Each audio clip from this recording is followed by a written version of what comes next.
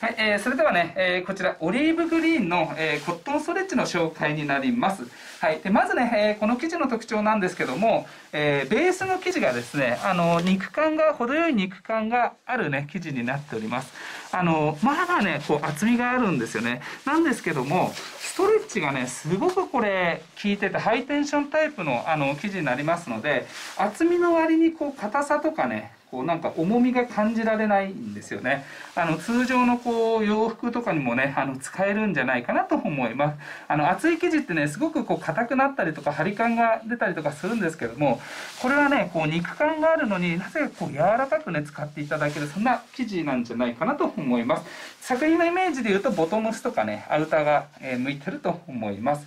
はい。で、次にですね、色ですね。このオリーブグリーンっていうのもね、すごくこう特徴的で、あの、個性的な作品になるんじゃないかなと思います。あの、折り感もね、やっぱりアパレル専用の生地だけあって、非常にこう、こだわったね、こう、折り感なんですよね。その辺もね、ぜひね、こう、ちょっとこう、チェックしていただいて、え作品のね、えー、イメージ作りに活かしていただければなと思います。